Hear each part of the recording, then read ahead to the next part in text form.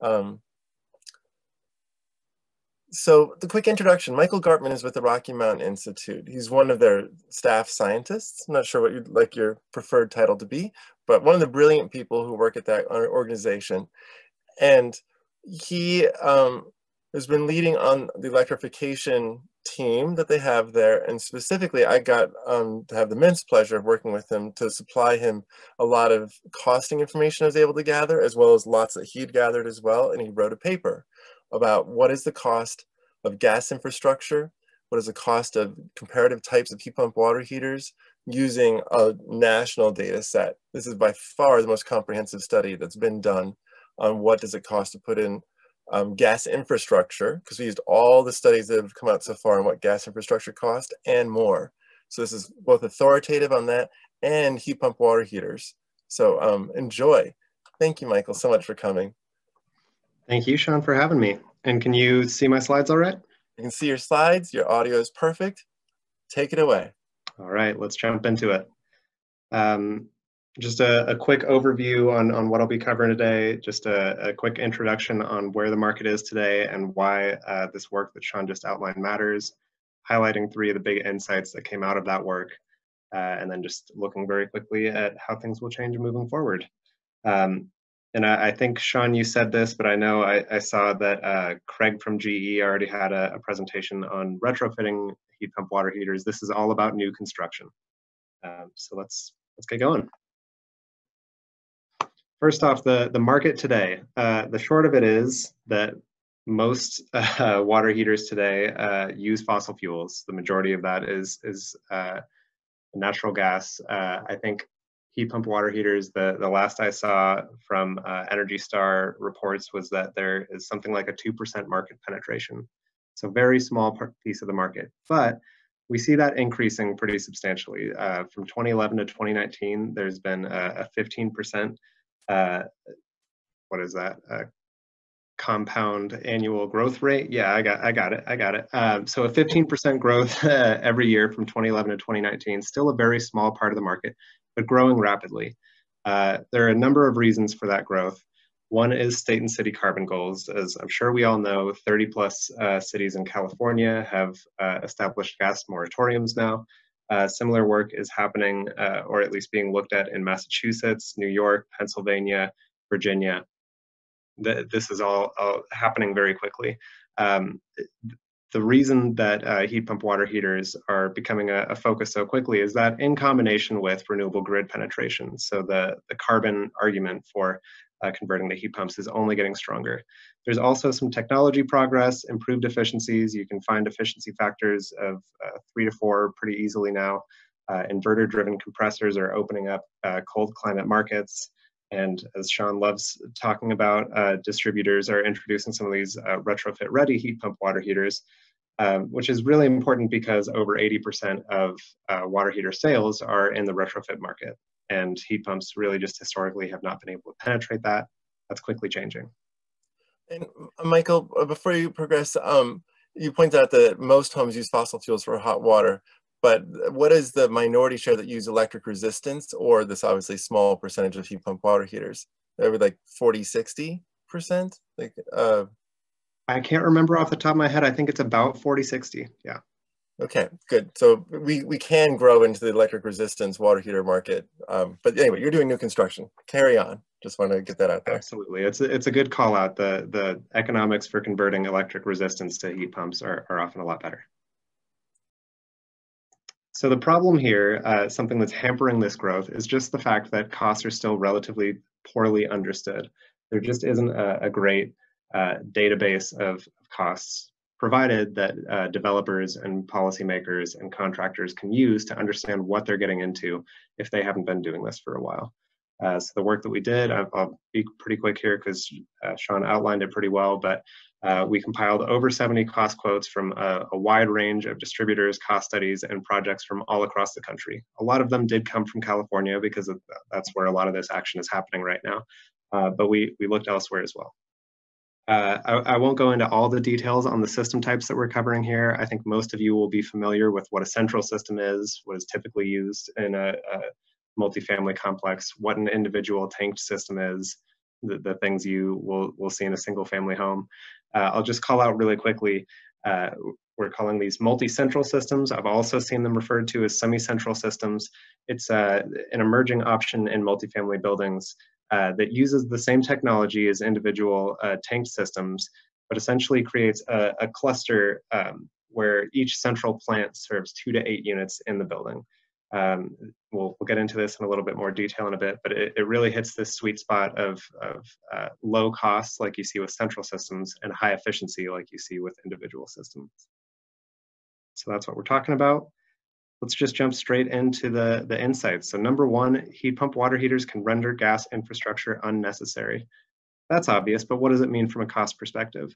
Um, here we're looking, this is really the, the key uh, chart from all of the research that we did, just summarizing the costs across uh, five different system types when you include 100% of gas infrastructure costs. You can obviously argue that you should only include 40 or 50% of the cost, depending on what other systems are in play. Um, we have uh, a spreadsheet database where uh, designers can uh, apply whatever percentage that they want to. But when you're considering the entire cost, uh, heat pump water heaters are actually pretty competitive. Uh, they're, they're, still about $500 a unit. Uh, and, and sorry, when I say unit, I mean per, um, per housing unit, per, per residence. Uh, about 500 bucks more per residence uh, with central systems. Individual systems, you come out on top because uh, if you're spending something like $2,000 for every single family home and it's only $1,000 uh, more for a heat pump water heater over a gas water heater, that's, that's a clear win. Um, these multi-central systems, which I'm really excited about, are actually pretty cost competitive with central gas systems. So that's uh, an important call out. Um, uh, just stepping back to the individual systems uh, again. So if um, if you're arguing, uh, say you're also considering a, a natural gas uh, HVAC system, and you only want to apply roughly half of the cost to uh, of gas infrastructure to your heat pump water heater system when you're doing this this cost benefit analysis then uh, the individual systems, gas and heat pumps, roughly uh, even out. It's the, the difference is less than $100 per, per residence. Um, just calling out at the end here, so, so this is really the, the cost of gas infrastructure that a developer would incur in their project. It's the cost benefit analysis that they want to do. We're not incorporating all of the costs of actually building and maintaining the, the gas infrastructure system. There are some costs that actually get rate based and applied to all uh, natural gas ratepayers. So the, the societal cost is, is not really what we're talking about here. And if you try to consider that, uh, things tilt even more uh, heavily in, in favor of heat pump water heaters. The problem here is that those aren't the numbers that developers and policymakers are seeing. They're seeing the numbers without these gas, gas infrastructure costs almost all the time. And it's, it's a challenging problem to fight against because uh, you're essentially trying to drive with one eye closed. You're not getting a, a complete view of the, the real cost picture here. So when you don't consider gas infrastructure costs, yeah, it, it looks clear that heat pumps uh, are, are a bit more expensive. Um, it's worth calling out that the uh, multi-central heat pump systems are actually still competitive uh, with the uh, natural gas central systems. So that's that's an important call out there.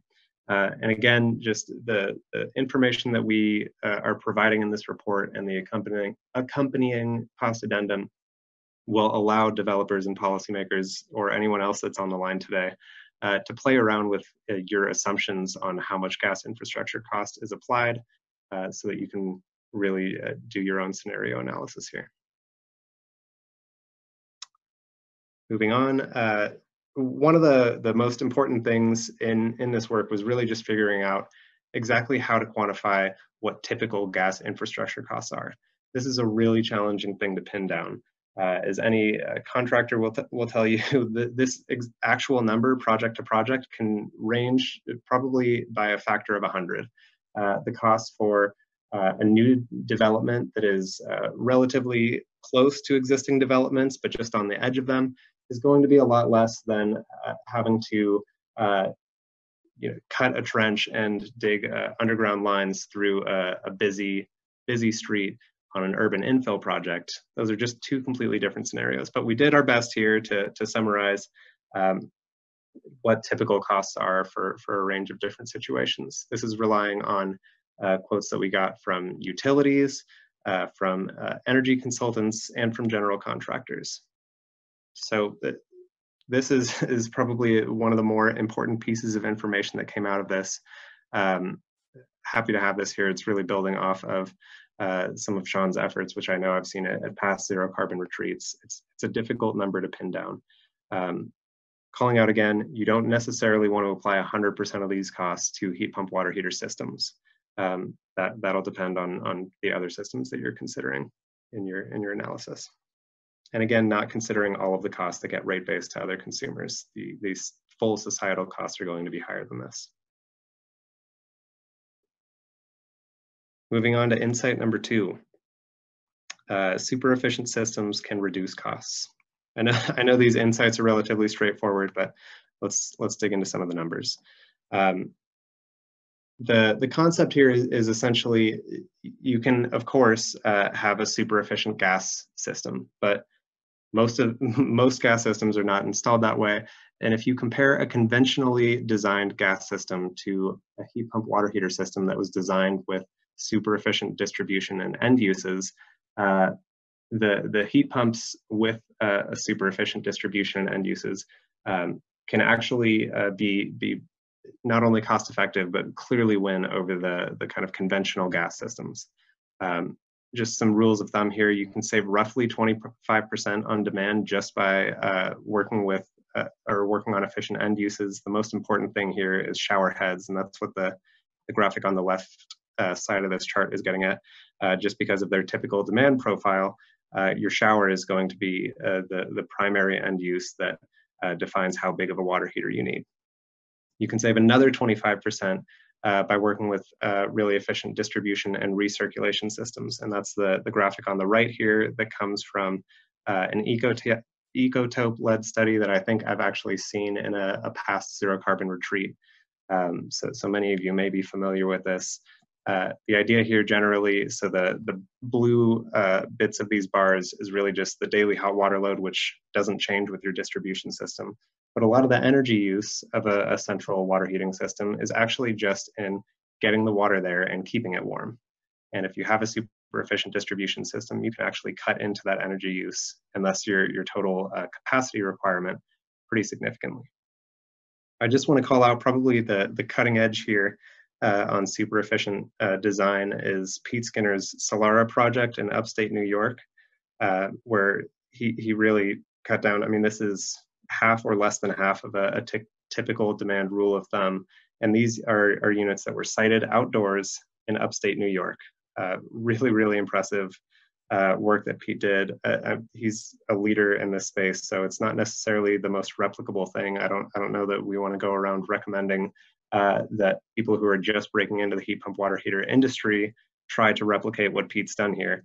Um, but it, it really points at just just what can be achieved. Uh, and the, the other thing I want to call out is Pete's um, price that he achieved for this system was roughly $1,100 uh, per housing unit, which is uh, once you normalize, um, sorry I didn't hit that, all of the costs that we're talking about here have been normalized to uh, national average and to uh, use the same sort of assumptions. Um, his cost was less than half of the median that we saw across all of the, the central heat pump water heater projects that we profiled. So it's a really impressive work. You can do more than that though. You can uh, do even better than just having you know a, a nice low flow shower head and some uh, good uh, high efficiency distribution. Um, you can achieve peak efficiency with multi-central system designs. I haven't actually seen the Avengers movie, but I know about this meme. Hopefully most of you do. Um, the, the idea here is basically that, that this system design, uh, it's, it's unusual or, or uh, not, not particularly common today, uh, but it really hits this sweet spot of achieving uh, the system efficiencies that you get with an individual tank system because you have none of the central system pipe losses uh, that, that were covered in that stacked bar chart earlier. Um, but you're also getting to, to achieve some cost savings from economies of scale like you do with central systems. Um, so, you, so you get the high efficiency, you get the low cost. It's an absolute win. Digging into a, a, little bit more of what we actually mean when we say a multi-central system. This is actually uh, an example from uh, Sean's Coliseum Place, a six-story multifamily project. Uh, I believe it's in Oakland, but correct me if I'm wrong, Sean. Um, it, you can actually get pretty creative with the designs here. This particular design, uh, each uh, plant uses uh, one 80-gallon uh, tanked water heater uh, each of those plants covers on average 2.3 residences. So some of these residences are actually supplied by multiple plants where you have uh, your bathroom and your kitchen supplied by, by a different water heating plant. Seems, seems a little unusual. It's, it's not something that I think a lot of designers are going to be particularly familiar with, but it, it again really uh, is, is uh, the, the best combination of cost and efficiency that you can achieve. Uh, and it really, it, it presents a, a, lot of opportunities for innovative designs. One, one other thing to call out here uh, on this particular project uh, is the, the project engineers cited these plants uh, right next to the elevator shafts in the building to, to simplify, simplify venting and make sure that these uh, heat pump water heaters didn't adversely uh, affect HVAC loads. A lot of opportunities like that. Well done, by the way. That's a great explanation. Thank you, Sean. uh, jumping into our last insight. So heat pump water heaters are ideal for performance benchmarks. Uh, just want to hit another uh, case study that actually uses a similar uh, multi-central design. This is uh, Bank Flats, uh, which was developed by Onion Flats out in Philadelphia. this is a 28 unit multifamily building with retail on, I think, just the first floor. Um, they achieved uh, what was it 157 uh, dollars per square foot for zero carbon passive house performance. So really impressive building all around. Uh, but one of the things that they did to make sure that they could actually cost effectively achieve zero carbon uh, was one of these multi-central systems. Uh, in this particular one they have let's see uh, four central plants across the entire building. So each of these plants is two 80 gallon tanks piped in series, sited in the basement, uh, and each of those plants supplies a stack of three to four homes uh, going vertically up throughout the building. They have super efficient distribution as well with uh, 3 8 inch uh, in-unit piping and a pipe-in-pipe recirculation system. Um, but again, just stepping back here, uh, Bank Flats uh, actually is pretty prolific as far as passive house multifamily developments go uh, because they're able to, they realized uh, that they were able to uh, take advantage of uh, low income uh, housing tax credits. Uh, Pennsylvania um, uses passive house certification as one of the bullet points on, on the application list. So, so, bank flats could get prioritized for some of that funding if they achieve this level of performance. And that they they found that to do so cost effectively, um, these multi-central uh, heat pump water heater plants were, were really kind of a, a, silver bullet that, that just made the, the numbers work from an energy perspective. Energy and cost, I guess. Um, but you don't have to be just looking at you know, net zero energy or zero carbon or passive house performance. Um, even uh, California's Title 24 uh, can make heat pump water heaters the lowest cost solution. So this is uh, profiling one particular project um, that uh, uh, a leading West Coast architecture firm, uh, looked at.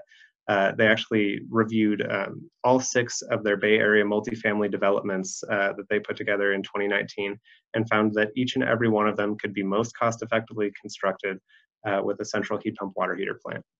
I don't think they, they looked at multi-central plants in, in that equation, but just comparing central uh, gas and central heat pump water heaters, um, when they looked at the fact that uh, their central gas plants would be required to have uh, a supplementary solar system and also incur those gas infrastructure costs, uh, heat pump water heaters were a clear winner. This uh, particular graphic here is, is for the uh, most extreme case where uh, the heat pump water heater system was 62% cheaper than the gas as, uh, than the gas estimate. That is including 100% of the in infrastructure costs, which is reasonable in this case because uh, I think they had already specified a, a heat pump HVAC system. Uh, but you can see from this graphic, even if you only incorporated something like 30% of the gas infrastructure costs, heat pump water heater systems would still uh, be cost competitive.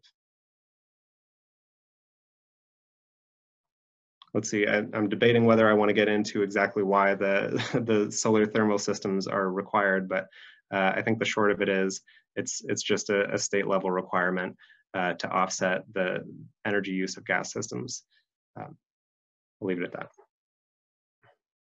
So just, uh, I know I'm uh, coming up on time here and I wanna make sure there's plenty of time for questions. Uh, one or two more slides here.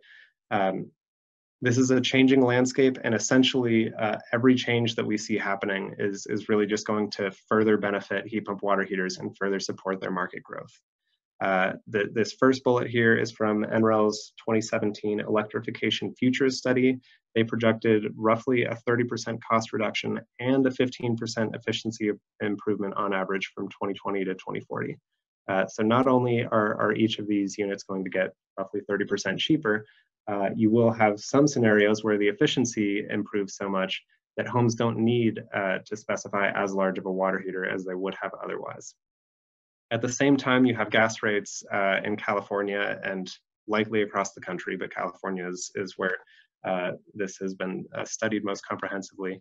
Um, we see gas rates passing $4 a therm by 2050, where they're, I think, still under $2. Yeah, still under $2 a therm now.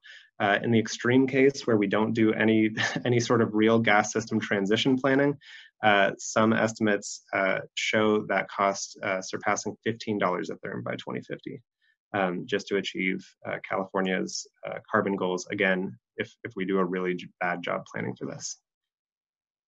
In combination with that, we have a carbon-free grid by 2045 in California. Uh, grids, uh, renewable penetration is happening all over the country, so other states it might not, um, we might not hit carbon-free on that time frame, but um, the carbon benefit of heat pump water heater systems is only going to improve. Um, uh, and uh, on top of that, you have uh, really some of the, the most exciting technological developments for heat pump water heater systems are uh, just the development uh, of a low global warming potential refrigerants, which, which only improves the uh, life cycle environmental impacts. and finally, at least in California, smart controls really present a, a kind of budding opportunity to improve the, the cost savings potential for heat pump water heater systems. Um, this uh, over 20% number is from uh, RMI's uh, 2018 report, Economics of Electrifying Buildings. Uh, they looked at uh, the most extreme time of use rate available in Oakland, California at the time, um, and found that uh, a heat pump water heater system with smart controls could reduce energy bills by 20% for a homeowner. Now, I think the standard time of use rate that was uh, in, in, place at the time in Oakland, it, the savings was only something like 3%. Um, but as time of use rates become more popular uh, and as they become more necessary as, as we hit supply and demand issues with a, a greening grid, um, that, that number should go up. So there's a, there's a big implication here. Home builders, installers, policymakers really need to start considering this opportunity. They need to innovate or they're going to risk being left behind.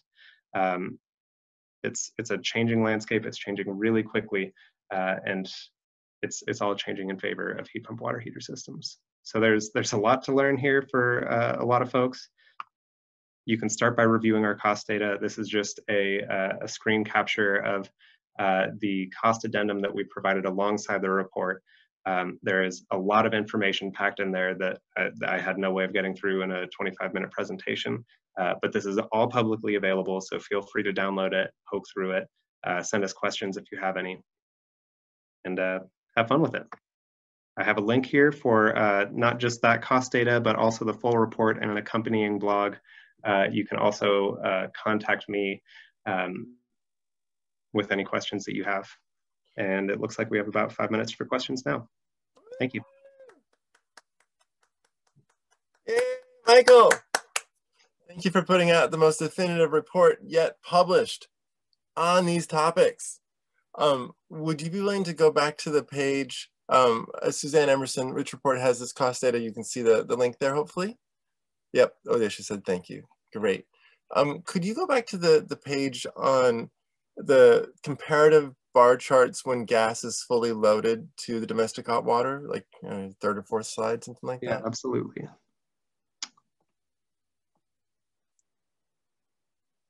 Gas infrastructure included. So talking about Pete Skinner here for a moment, that multi-central heat pump, right? The, mm -hmm. oh, sorry, central heat pump on the far left. And that's his price, right? That's at the very lowest whisker that you see there. Smallest whisker. Like, well, it's at the very bottom there. I'm trying to remember. I think we might have had one project that actually landed lower than Pete's because I remember Pete landed at about $1,100 a unit. So it was maybe uh, the second lowest. I can't remember what the lowest cost one was. Well, that's actually a good answer to my question. It's like, well, this is a, a 25 percentile. Is that how I should interpret that? That line represents 25% of the, the information that we had? Yeah, exactly. And just one thing to call out here. So even though this is the most comprehensive study, there is still plenty of work to be done. This graphic, um, when we tried to compare all of the systems that, um, and make a true apples to apples comparison, a lot of those 70 plus quotes fell out this is covering 24 quotes across five system types. So the, the ones that don't have whiskers attached, there are only uh, three or four quotes in there. Um, this is still a place where we could uh, clearly build out more and more cost data. Oh, that's why there's our, whiskers there. Okay. So we, we did have decent data for the central heat pump though. And I yeah, guess to, to point out here, I, I see a lot of possibilities for cost compression because the, the systems that are more expensive those frequently are not designed in an optimal way where they would have more storage and less heat pump because storage is, is cheap. Like a tank for storage is a cheap thing and doubling up the, the size of the heat pump is expensive. Mm -hmm. um, so I feel like there's there's a lot of sort of artificially high costs in there that are reflective of people's first or second or third times doing it, as opposed to like say Sean Oram who presented earlier, who has you know quite a bit of um, of expertise in it and can design a more optimized system. Yeah, absolutely. I, I, don't think we have to name names here, but uh, you and I both know as we were scanning through some of the, the cost data that we got, just seeing like, oh, this was clearly someone's first heat pump water heater project. That's unusual. Uh, there's, there's certainly some of that happening. Yeah, yeah. And I think that, um, you know, some of the more experienced folks do get the lower prices, unsurprisingly. But that, that's I guess a point I want to bring forward for other people is that there's opportunities to lower the cost of central heat pump water heaters and individual heat pump water heaters um, by expanding their market the way that you know the gas systems have you know, roughly 50% or more of the water heating in the country. If we had heat pumps with that same amount of market penetration, uh, this graphic would look different. We would have a, um, far more projects at the lower end, uh, you know, as people figure out how to, to save costs in their design. Yeah, absolutely. Yeah, the the high end of the central gas systems is is really just uh, because of the situation. Um, it, when you hit those urban infill projects where uh, gas infrastructure uh, costs are just extreme and can cost more than the entire heat or the entire uh, water heating system itself. Yeah. On on the water heating or sorry on the heat pump side, it's a different story, and it really points to uh, for for local and state policymakers uh, the opportunity and I guess the essential need for uh, contractor training and education because there is a lot of cost compression that can happen just from smart design. Here, here. Um, uh, Reese Davis, um, you asked the question of, have you looked at the cost of added storage space? I know in urban areas that space for added storage can be pretty valuable, and that's true. Um, when I've tried to get uh, more storage into developments, generally the storage was being put up on the roof and that there was excess space there. I mean, the the more tight, uh, the, the more urban the project is, really, the less space there is available for anything, and all space becomes valuable. Um, but that's that's what I've seen is that um, there's more storage space available usually down in the parking garage where they're putting tanks um, and there was sufficient storage space up on the roof. So it hasn't been much of an issue. Um, instead, in fact, it's the individual tanks that might be the least cost, most efficient system, but because they have to go into the residential areas of the building, they're the ones that need some thoughtful carve outs um, that sometimes designers object to because they wanted to use that for something else. Um, yeah. it is a, it'll be a bigger concern in colder climates, like when we really start penetrating the, the Northeast and you have sub-zero temperatures that you have to worry about. Uh, uh-huh. siting on the roof or, or otherwise outdoors becomes more of a concern. But we saw in Pete Skinner's project that that, that there are ways uh, to to still have a really good heat pump water heater system design. Yeah, he just mounts them high above the snow. you, you know, Yep. puts efficient system in, mounts it high. Um, and we don't have the shark in here, but that's a, a COP of 3.8 in the middle of winter up in Canada um, because they're using wastewater. So if they don't use the, the outside air, then it's, um, then they keep their COPs really strong through the whole winter. They don't have to double up the, the system size or something. Um, okay, well, we are, we are at time. Thank you, Michael. That was awesome. Please, if you could go over to the chat and uh, respond to people's interests, I'd really appreciate that. Um, Absolutely, Sean, and thanks for having me. thanks for coming. Appreciate